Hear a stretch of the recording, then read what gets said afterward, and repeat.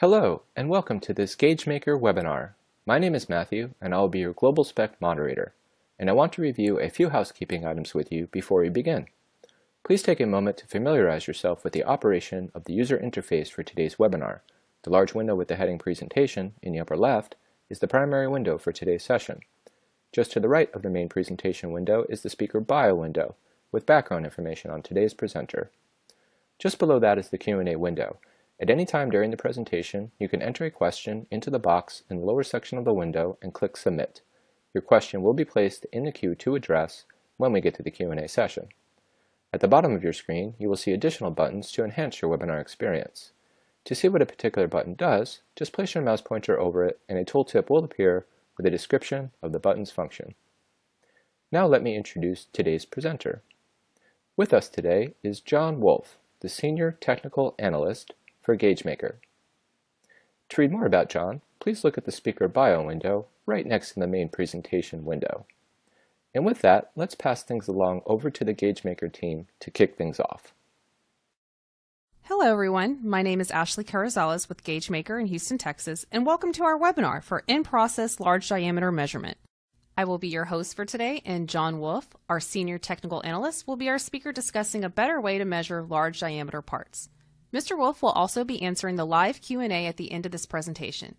If you're joining us live, we're excited to have you. If not, then we appreciate you taking time out of your day to view our presentation. Let's get started.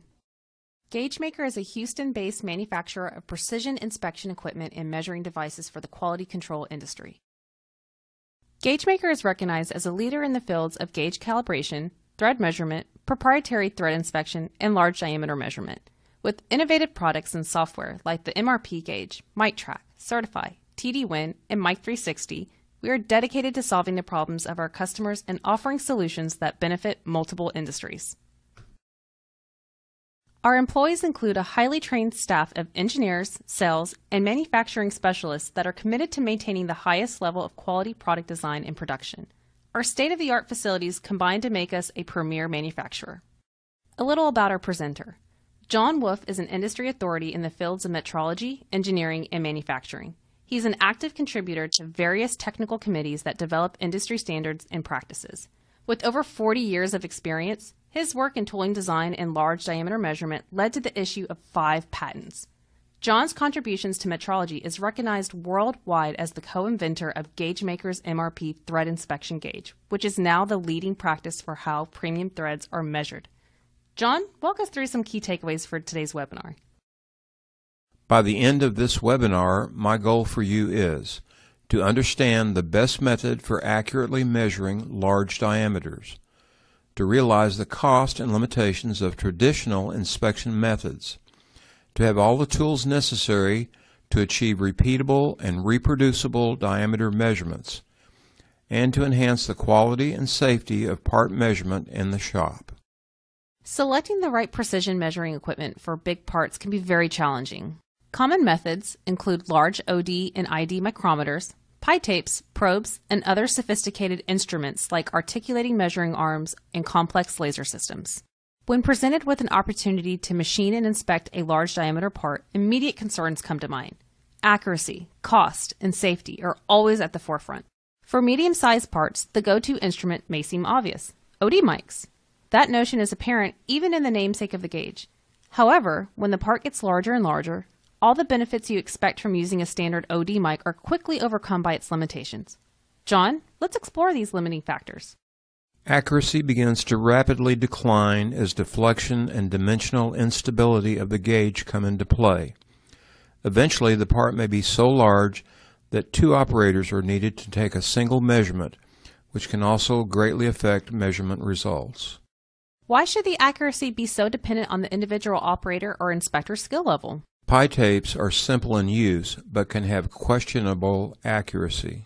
Bar gauges bring accuracy back into the equation, but now cost becomes a considerable factor as each gauge is size specific and requires a dedicated setting master. You may need an assortment of gauges and standards. Probes and measuring arms eliminate the need for setting masters, but the high upfront cost comes right back into play.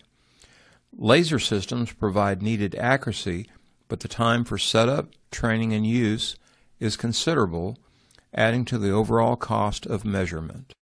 The importance of safety during measurement cannot be understated. When measuring large parts, it can be dangerous when an inspector has to physically engage the part on the machine tool. Making large diameter measurements safe and effortless means addressing all these limitations head on. Foremost, the instrument needs to be accurate, without question. It needs to be easy to use, regardless of the operator or machine tool involved. And it needs to be versatile enough to measure a vast range of sizes to stay economical. Enter the Gagemaker Mic 360, a complete, in process, large diameter measuring system. The Mic 360 measures any diameter from as little as a few inches to virtually any size you can machine. The versatility includes the ability to mount on a vertical or horizontal lathe, OD ID grinder, or any other machine tool fixture that rotates a part. By in process, we mean it all happens wirelessly inside the machine. While the part is turning, and at a push of a button. There's no need to stop the spindle to take a measurement because all of the recordings are recorded electronically. These benefits translate to a more repeatable, safe, and cost effective measurement. So, how does the Mic 360 in process method contrast with traditional methods? Well, everyone understands the concept of two traditional measuring techniques direct measurement and comparative measurement. A direct measurement gauge, such as a common scale, a micrometer, or pi tape, provides the actual measurement values straight from the instrument. Comparative measurements, like those taken with bar gauges, indicator style gauges, and other instruments that require dedicated setting master, obtain their values by zeroing first on the setting master and then taking a reading on the part to see how far you've deviated from the master value.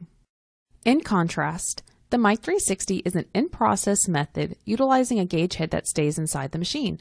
The shank on the gauge head fits into a standard carousel, tool changer, or turret. By in process, we mean the spindle turns the part while measuring inside the machine. No need to stop the spindle. A measuring wheel of known size rotates against the part while it's turning. There is no setting master. The measurement is not dependent in any way on the accuracy of the machine tool or lathe. There is no operator skill involved. The process is conducted at a safe distance without the operator having to physically engage the part. Let's take a closer look. John, can you explain in more detail? There are primary components on the Mic 360 a target and light switch combination track part rotation, a gauge head and measuring wheel inspect the part as it rotates.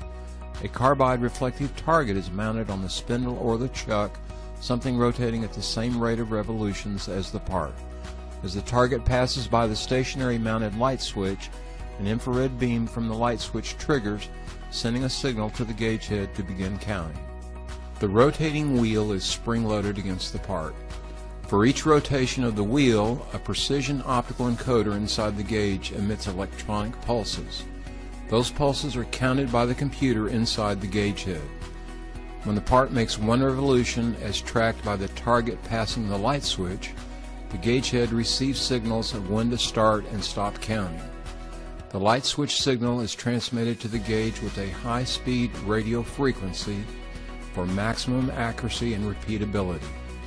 The computer then takes into account all information received, the known measuring wheel diameter, the corresponding number of pulses per each wheel revolution, and the total number of pulses counted during one revolution of the part. The computer processes that information, calculates the part diameter, and sends it via Bluetooth to the tablet or CPU display. Ultimately, the computer calculates the diameter by counting how many times the measuring wheel rotates during one part revolution.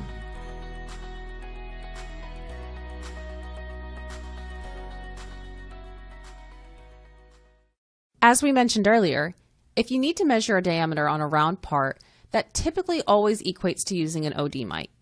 While this is the go-to for OD measurements, once sizes approach or exceed 20 inches, limitations come into play. Foremost, deflection of the C-frame takes away from the accuracy.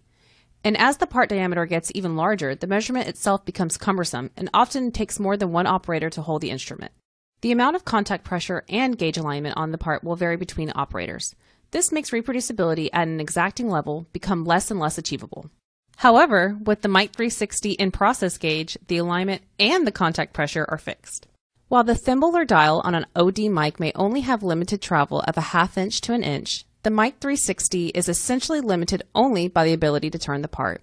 Feature-rich parts with multiple diameters along the link make inspection costly. Having to purchase numerous size-specific mics and standards adds up to thousands and thousands of dollars. When it comes to the Mic 360, there is no upper size restriction. It becomes obvious that the ability to measure an indefinite range of sizes with no upper limit quickly becomes the preferred option. Stopping the spindle to take a measurement is time consuming, which again adds to the cost of inspection. Not a factor with the Mic 360. In fact, the spindle must be turning while measuring. This is a part of the unique gauging solution. Using the display to get set up couldn't be any easier. Simply pair with the Bluetooth and get ready to take measurements.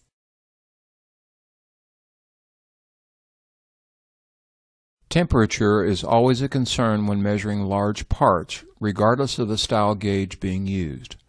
As the part gets larger and larger, and as the temperature gets higher or lower, the part will change in size. The second concern is when there is a temperature difference between the gauge and the part. For example, an OD mic that has been isothermal at 68 degrees in the lab is brought out into the shop to measure a warm part at ambient temperature. This delta in temperature between the part and the gauge produces a measurable difference. On the Mic 360, there is an option for applying a temperature compensation feature to negate this effect. Here are some common questions. Does the wheel slip during measurement? What are the largest and smallest diameters that can be measured? Does the wheel experience wear over time?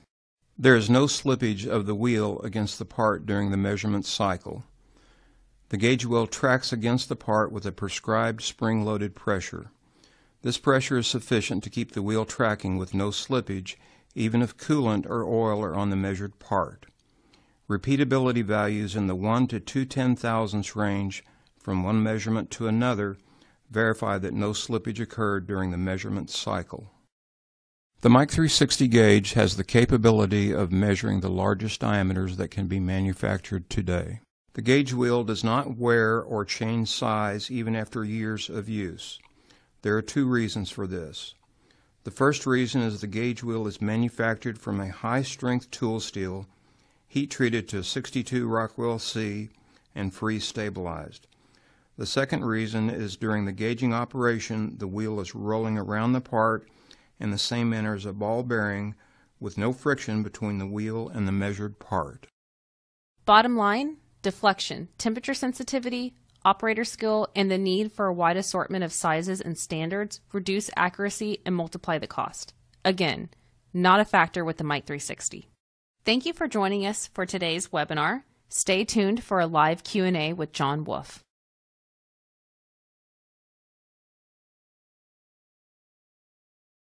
Thank you so much for that great presentation. And now let's get to the Q&A. We have some questions that have come in from the attendees, so we're going to move into answering those now. If we don't get to your question, don't worry, we will have an answer for you following the webinar. And if you haven't submitted your question yet, you can still do so now by entering it in the Q&A box and clicking Submit. We'll try to answer it before the close of the session. Okay, now for our first question from the audience. What is the largest diameter that can be measured, and what is the smallest diameter that can be measured? John? Well, Matt, for an external uh, measurement, uh, the smallest diameter that can be measured is approximately one inch in diameter. The upper limit is pretty much wide open. We've had customers measure diameters as large as 40 feet, so there's essentially no limit to the upper diameter of an internal or external uh, that can be measured. There, there are no limitations on the gauge size-wise. For an internal measurement, the smallest the diameter that can be measured is about 6 inches due to the uh, size of the gauge. Very good. Thank you. And thank you for the person that sent that question. That was a very good question. Okay, great. Uh, we are in the Q&A session. Please send us your questions. Okay, next question from the audience. Does the wheel slip during measurement and does coolant or oil affect the wheel tracking or anti-slip uh, capability? John? Well, Matt, the, uh, the wheel is preloaded against the part, uh, spring-loaded against the part with about 8 pounds of tension. this provides enough uh, pressure that the wheel can track very true and accurately. Uh, we do not see any slipping during the measurement cycle uh, in that situation. We also you can have coolant or oil sprayed on the part while it's measuring, and that does not uh, induce any slipping either because the spring tension of the wheel breaks through the film on the surface that's being measured, and the uh, the check for that to verify that there there is no slippage is the repeatability of measure repeatability of the measurements from one measurement to the next uh, proves that there is no slipping, that we're getting uh, accurate and repeatable measurements. Excellent. Thank you for that. Okay, on to the next question from the audience. How long does the wheel last, and does the wheel experience wear over time? John? Well, the wheel is uh, manufactured from uh, Matt from a, an O, uh, an uh, A2 tool steel, heat treated to 58 to 62 Rockwell C, and then it's free stabilized and burnished to a very high finish. So the wheel is very durable. In addition to that, the actual measurement operation is a rolling operation.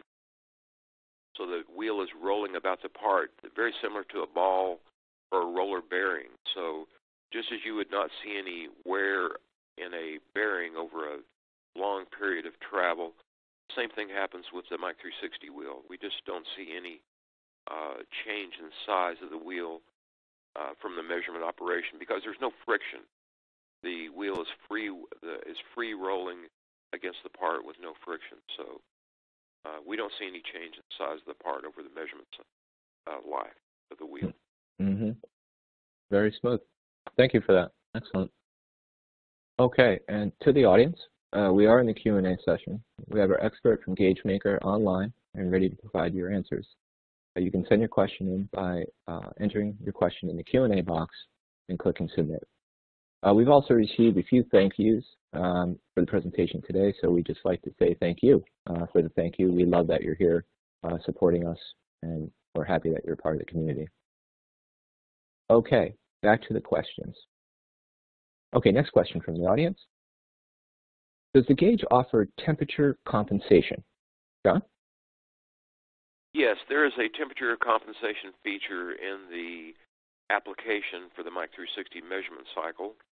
You can measure uh, the temperature of the gauge wheel and enter that into the application, and also enter the temperature of the part you're measuring into the application. And the computer will adjust the size so that the diameter will be uh, the correct value if they were the wheel and the part were both at 68 degrees. It also will compensate for different materials. Say if you're measuring aluminum and the coefficient, the thermal coefficient of expansion on aluminum, much higher than it is on steel, but once you select the aluminum material and enter the temperature value for the aluminum, the computer will automatically compensate and adjust the measured diameter to uh, the correct value at a 68 degree environment. Very good stuff. Thank you for that. Okay, and to the audience, uh, please send us your questions. Uh, we'd love to hear from you. Okay, next question. And this is a good one. Okay, what is the limitation of grooves, both width and depth? And can it measure internal grooves? Uh, the limitation on grooves, the minimum width of groove that we can measure is, is about one eighth of an inch, 125 thousandths. Um, that the the depth of the groove is uh, based on the diameter of the wheel to the body of the gauge head. And the body of the gauge head is about two and a half inches in diameter. The maximum wheel size diameter that we recommend is about six inches. So um, that gives you a little over an inch of depth that you can measure inside of a groove. Uh, there's no problem with measuring a groove internally as long as you meet the width and, and depth requirements that uh, that we have there. Mm-hmm. Excellent. Thank you for that. Okay, and we're going to try to answer everyone's questions, but like I said, if we don't get to your question during the session today, we re we'll, we'll, reach out after the webinar is over and provide an answer. Uh, if you still have questions uh, for Gagemaker or for John, you can still submit them now by entering them in the Q&A box and clicking Submit. Okay, next question from the audience. How many surface feet or RPMs does the part need to turn during measurement? Well, the uh, the recommended uh, surface footage on the maximum surface footage of the measurement cycle is about 360 surface feet per minute. Of course, that's related to the diameter of the part and circumference of the part and the RPM settings on the machine. Uh, there is no lower. The, the gauge will operate a little bit higher than that, but that's our our maximum recommended surface footage. Uh, the gauge will measure at a much slower RPM uh, or surface footage uh, uh, down to, as long as the uh, operation is consistent in speed. Uh, the uh, lower limit is, is probably around 10 or 20 surface feet per minute, but typically 360 surface feet per minute is the uh, operating value. Excellent, thank you. And we had a few uh, comments come in asking whether or not this will be available as a replay. Uh, yes, it will. This entire webinar, including the Q&A session that we're currently in, will be available starting approximately one hour after the live session ends, and it will be available as a replay on the GlobalSpec site for the next 90 days. So please come back, watch again, share it with your colleagues. Thank you.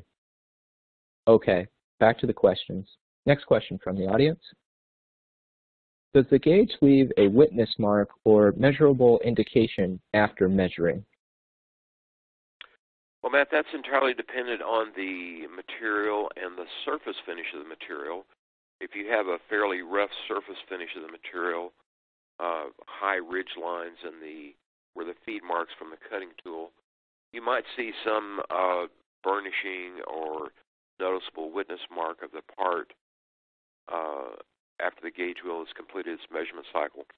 However, that is a very, very fine amount that is uh, literally immeasurable. It's it's too small an amount to measure. So occasionally on a on a, a rough surface finish or a softer material, you might see a faint witness line, but it's typically not uh, deep enough to be even measured, much less affect the integrity of the part.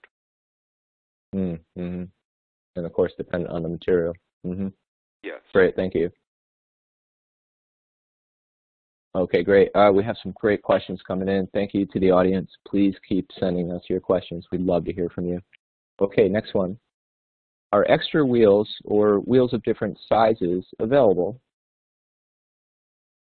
Uh, yes, Matt. The uh, the gauge wheel is very easily removed. The uh, the wheel is uh, positioned on the shaft of the gauge head on a 15 degree included taper shaft very similar to the way you would mount a grinding wheel. Uh, so uh, just a, a, a, threaded nut on the end of the wheel to hold it in position. So it's very quick to change, uh, interchange wheels from one diameter to the next uh, to go with a bigger or larger wheel. Uh, once you change wheel sizes, it's very easy to enter the new wheel size into the application so the gauge so that the application knows what diameter wheel you're using for the next measurement cycle. So that's a, a very common thing. The typical wheel is three and three quarter inches diameter and about a quarter inch thick, but you can go to larger diameter wheels and you can go to thinner wheels, as we mentioned for the grooves. So it's very easy to interchange different wheel sizes for depending on your measurement application. Excellent, thank you. Um, and again, to the audience, thank you so much. Please keep sending your questions. These are amazing. And here's a great one uh, coming in now. Uh, here it is. Is there any part preparation needed prior to taking the measurement? Well, uh, if you want the surface finish of the part to be free of any chips, we don't want any chips or debris on the surface uh, that might interrupt the tracking of the wheel. But as far as like if there's coolant left over from the machining operation or cutting oil of any kind uh, left over from the cutting operation, there's no need to say wipe the surface of the part clean. you can go ahead and measure right through that. So we don't want any physical obstructions in terms of chips or things like that to interfere with the tracking. But uh, typically, you would uh, uh, just ensure that there there's nothing on the periphery as far as chips or stringers, and then you just go ahead and measure regardless of coolant or any kind of cutting oil operate, uh, available there. Mm-hmm. Excellent. Thank you for that. Okay. Uh, okay, a lot of good ones coming in. Here's another one. Okay. Uh, referring to the measuring units, um, is it in American Standard only? Well, the gauge operates in both uh, metric or English modes, so it's very easy to uh, change between uh, metric and inch operation. Excellent. Okay, next question. Uh, how is the Mic 360 gauge powered? Given that it is a wireless device and you said it was stored in the machine, so how is it powered? Well, the gauge head has two uh, lithium ion batteries in it. They have a battery life of approximately uh, one to two weeks. Uh, what we provide with the gauge is we provide an extra set of batteries and a charging station, and we recommend that you leave that charging station and the extra batteries being charged uh, at the work area, very close by. And then uh, just every Monday morning, if you change out to a fresh set of batteries, then uh, you'll you'll always be powered uh, for any of your measurement operations that you might do. Uh, it's very easy to swap the batteries out. There's a little screw-on cap on the end of the gauge uh, that has an O-ring seal to keep it watertight or waterproof, and uh, just unscrew that and drop the new batteries in. Fresh set of batteries. Uh, we recommend doing that every Monday morning. Mm-hmm. That's good practice. Excellent. Thank you. Okay, next question. Um, Okay, can the gauge transmit data to a remote device, something other than a tablet that comes with the instrument? Uh, wireless transmission to a remote location or device? That's a question. And I can repeat any of that if needed. Well, the uh, the gauge application, it is a Windows application. It runs on a tablet. Uh, the tablet does have wireless and Bluetooth capabilities, and so it's very easy to uh, connect that tablet to your uh, to your network or your, your internal um, communication devices. So uh, anything that you can transmit from a standard Windows tablet wirelessly over a network through Windows applications, uh, Excel, Word, uh, mm. any any typical device like that. Uh, it's very easy to do that. Mm-hmm. It's simply a matter of uh, connecting it to your your network whether it's out in the shop floor or in your office, and uh, communicates just like any standard Windows device. Hmm. There's probably a lot of options there depending on your, your environment and your network. Mm-hmm. Yes. No, that's great. Yeah. That's great. And that was a great question. Thank you for the person that sent that in. Okay, uh, next question. Okay, do I need to send the wheel in to be calibrated? Well, we recommend the wheel be calibrated once a year and uh, we typically we we prefer to calibrate that here in our here at Gagemaker at our facility in our lab. Uh, but we do recommend that it be calibrated once a year, uh, just like any standard gauge device, like gauge blocks or anything like that. Now, if you uh, just like any other measuring device, if uh, if you develop some history and don't see any changes, you can can increase that interval based on your own internal uh, quality control guidelines. Excellent, thank you. And uh, to the audience, uh, thank you very much for hanging with us. We are still in the Q&A session. We have our expert from Gagemaker online ready to provide your answer. So please send us your questions. You can still do so now by entering them in the Q&A box and clicking Submit. Okay, we have a few more to go through. Hopefully we, we receive some more. Uh, and here's the next one. Are there any parts that need uh, to be replaced over time. Uh, the target or reflector that you showed in the animation, for example. Uh, typically, uh, we do not see. We, we've had some very, very good success and very good history longevity of the gauge in operation, both uh, at our customers' facilities and in our own internal operations using the gauge over years and years.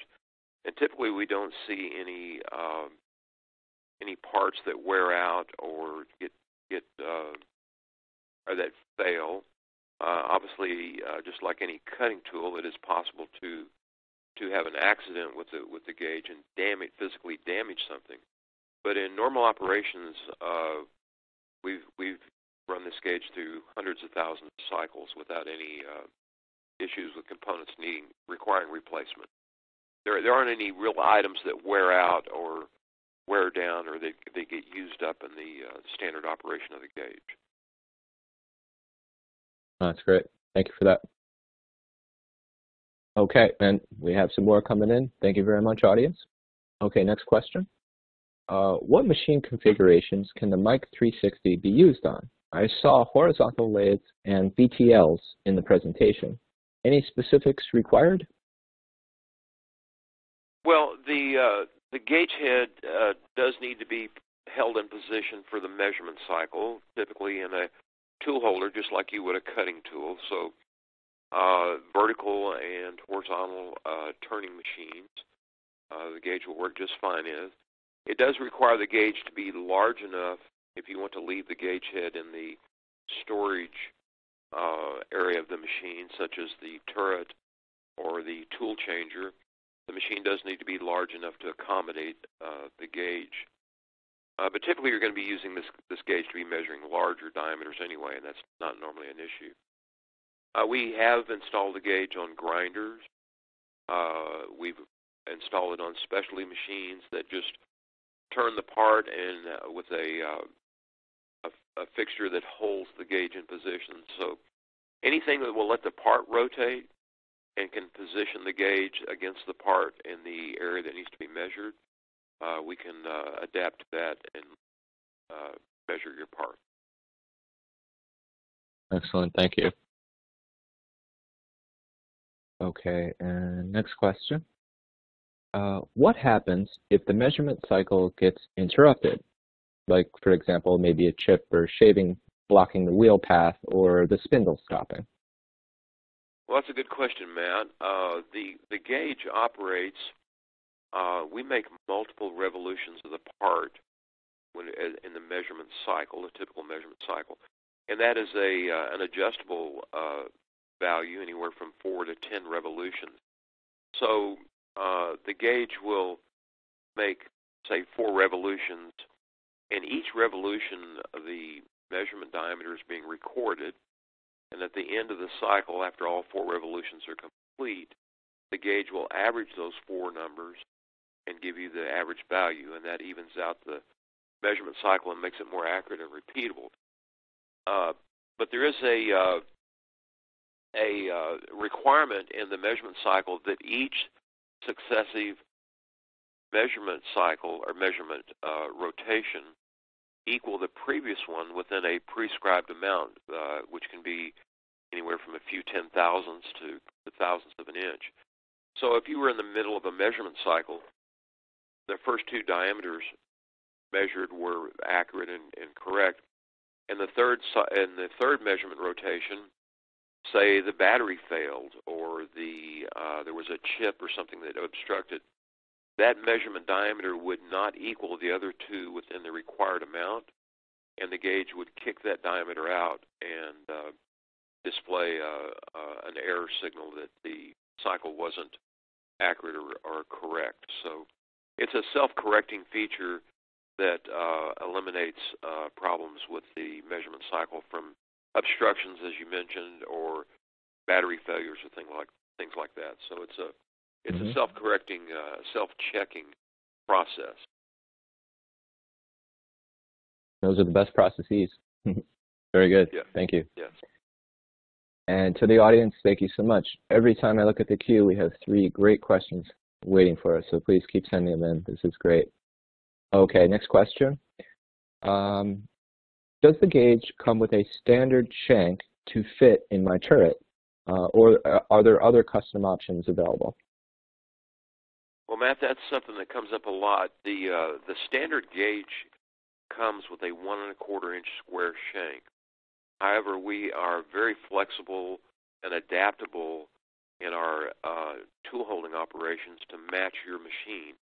And we've done everything from a Cat 50V to the excuse me to the Capto shanks to uh, the various quick change uh, specialty shanks by the different uh, cutting tool manufacturers.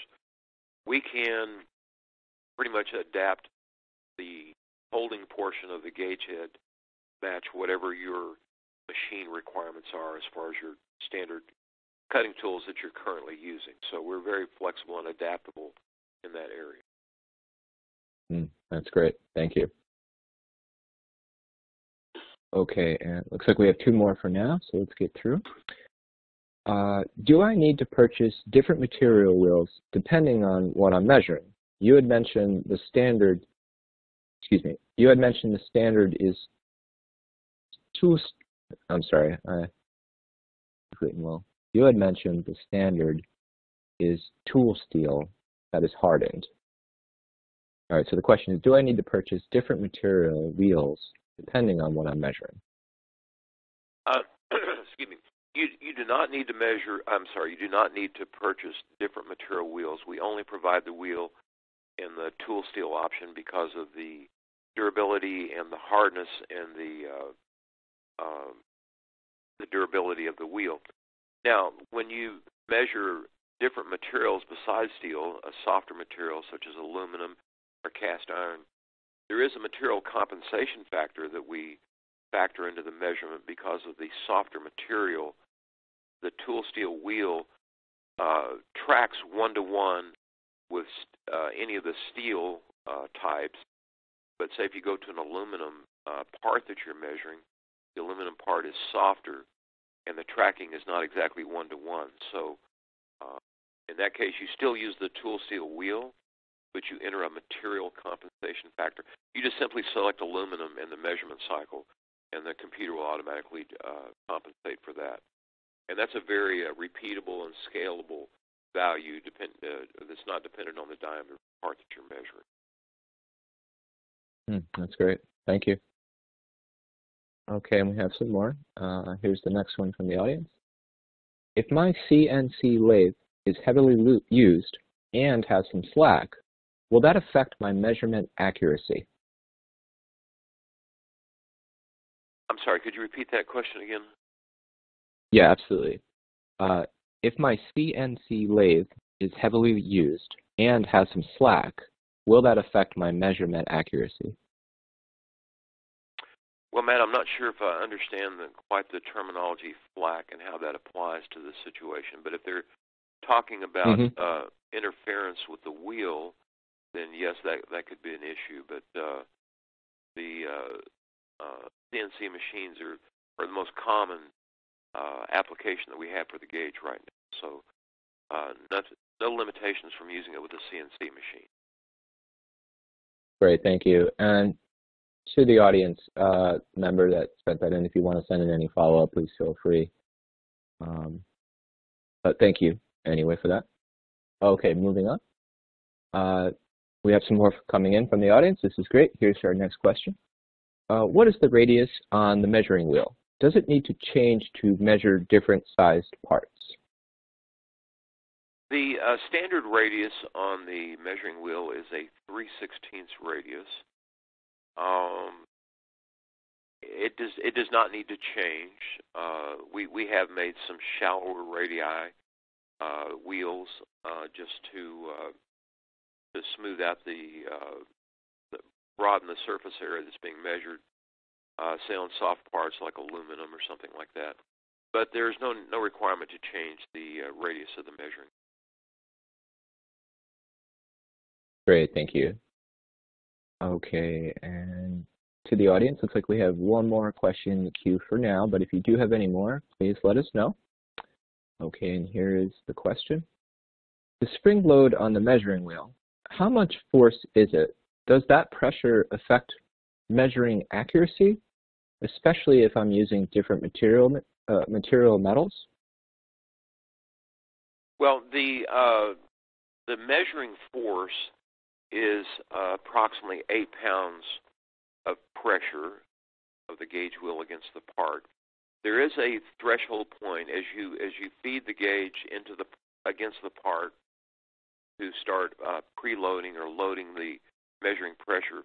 There's a threshold point where at about four pounds, where below four pounds, yes, the wheel may not track accurately. It may skip or slip and would affect the measurement accuracy. But after you pass that threshold of four pounds, um, there once the it reaches its tracking ability uh, against the part, and uh, we we go ahead and feed it on into the eight pound value, and uh, there's there's no need to alter that value based on material type, uh, hardness of the material, type of the material, or anything like that. It's a it's a consistent value that gives us good tracking pressure. And I might mention that uh, the uh, gauge has a the application has a indicator, a visual indicator that tells you when you have reached that measuring value, that measuring pressure. And uh, so when you, as you're feeding the part in, and the part's uh, uh, being uh, preloaded with the spring pressure, the application is going to tell you not ready because you haven't reached the required value yet. Then when you get to the correct spring pressure, the application will uh, give you the uh, ready signal, uh, indicating that you've fed the part in with the right tension. And uh, the gauge actually won't let you measure until you've reached that ready point. So it won't allow you to measure in a, a condition that's not loaded enough for accurate measurement. So it's a that's another self-checking feature of the gauge. Excellent. Thank you for that. Uh, we do have some more questions that have come in from the attendees, uh, so we are going to get to those in a moment. However, I just wanted to address a few questions that came in that were a bit similar. Um, some folks are asking, uh, you know, how how can we find out more information about you guys? What's next beyond this webinar? Um, if you do want to reach out, you can always reach out to the sales team at GageMaker at sales at gagemaker.com. The email address again is sales at gagemaker.com. And then you're also invited to come and visit the GageMaker website. That's www.gagemaker.com. So please feel free to come uh, and, and, and look through the site. And if you have any questions or would like to reach out or you want to reference this webinar in any way, please do so. I'm sure the team would love to hear from you. Okay, we are going as long as we can, and we're going to answer as many questions as we can. So right now we have two more in the queue, but to the audience, if you have any more, please send them in. Okay, here is our next question from the audience. Does my machine tool have, excuse me, does my machine tool have to have a special amount of accuracy in order to get the best results from a Mic 360 measurement? Well, Matt, that's one of the unique things about the Mic 360 gauge. It's not reliant on the accuracy of the uh, machine to get our, our measurement results. Um, some of the methods that are used measure diameters with the uh, standard machine tools, such as a measuring probe, uh, require very much the uh, the accuracy of the machine. Our gauge is independent of the accuracy of the machine, and it is also independent of the skill of the operator. As long as the machine can uh, position the gauge head against the part to be measured uh, regardless of diameter, um, it will give you a, a, very accurate result and is not reliant on uh, positioning accuracy of the machine uh, or, uh, or anything like that, or the rotation uh, uh, accuracy of the machine. That is all controlled by our gauge. So it's not dependent on the gauge, and it's also not dependent on the skill of the operator, which is another factor. Hmm. Things you can't control are now controlled. That's great. Okay, and looks like we have one last question in the queue for now. So this will be our last question unless anything comes in in the next few moments. Uh, so here it is. Uh, how much time does it take to perform a measurement? John? Well, Matt, that's entirely dependent on the diameter of the part. Uh, say if we're measuring a 10-foot uh, diameter part and we're measuring it at 200 surface feet per minute, uh, you can calculate the revolutions that they might be, say, 10 revolutions uh, per minute. And uh, so if you were uh, doing four revolutions for a measurement, that would be uh, four revolutions, uh, four tenths of a, a minute required. So um, it's dependent on the, it's entirely dependent on the diameter of the part. Uh, if you're going to be running at the at the maximum speed of 360 uh, surface feet per minute, uh, you can very easily calculate the diameter, take the diameter of the part, and that surface feet per minute times the number of revolutions that you've selected, whether it's four revolutions or 10 revolutions, and calculate the cycle time or the, the measurement cycle time. So uh, it's, it's actually very, very quick. Excellent, thank you. And while you were answering that, we did receive uh, a couple other audience questions. Um, before we get to it, I just want to reiterate, um, if you do have any additional questions that we didn't answer today or something that you may not have asked, you can always reach out to GageMaker and you can reach out to sales at gagemaker.com. That's sales at gagemaker.com. Thank you. Oh, and we have some more questions coming in. Okay, here we go. So here's our next question. Uh, why is there no setting standard required? Does that affect measurement accuracy to not have a setting master? Well, the, Matt, the gauge wheel is technically the setting master. We know the diameter of the wheel because it's been calibrated, and that effect is our setting master, if you will. That uh, knowing that wheel diameter, uh, and as we mentioned, as was shown in the uh, in the uh, uh, display before, the known wheel diameter versus the revolutions, the exact measurement of one revolution uh, allows us to calculate a very accurate diameter. So there's no need to zero or master the gauge. Now, there's nothing wrong with uh, putting a standard, setting standard on the ga- on the machine and checking it just as a uh, uh, just a verification check, if you will, to verify the accuracy of the machine. Say, you know, once a month or whatever your internal uh, requirements might be. But there are no uh, setting standards required to measure the gauge as the um, gauge wheel is its own quote internal setting standard, if you will. Excellent, thank you. And we have some more coming in, uh, so we'll try to get to it. We uh, we still have another 13 minutes approximately to go in the webinar, so we're going to try to answer as many questions as we can. All right, here's our next question. Is my measurement more accurate if I add more cycles? Well, it's uh, Yes, uh, it, it's going to be more repeatable, which uh, sort of implies that it's going to be more accurate. So uh, when you you're basically averaging multiple revolutions, but but we're talking about a very fine point here. We're talking measurements, diameters, or measurement accuracies in the one ten thousandths of an inch. So uh, yes, if you make more revolutions, it's going to average uh, those revolutions uh, and uh, give you the answer, the average answer at the end. And it's so that's going to be a little bit more repeatable and therefore just slightly more accurate. Mm-hmm. Understood. Thank you. Okay, and looks like now we have one last question in the queue. Oh, I'm sorry, we have some more that just came in. Never mind. All right, we're going to keep it going. All right, here's our next question. Uh, do I need to change anything on the gauge when measuring different size parts? Settings changes or anything like that? No, Matt, that's one of the uh, one of the best features about the gauge. Uh, in a typical measurement operation, say if you're using a micrometer, you have a one-inch travel range in your measurement cycle. So if you're measuring a part with multiple diameters, you're going to be required to have a different uh, micrometer or bar gauge or whatever you're measuring for each specific diameter. The gauge head, the Mic 360 gauge head, doesn't care what the diameter is.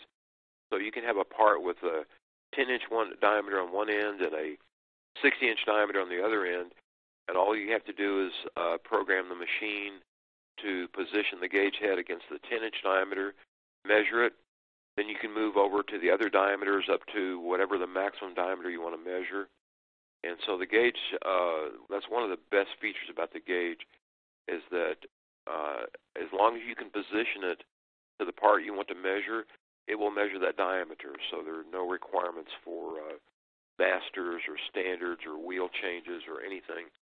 Um, we had a customer in uh, South Carolina.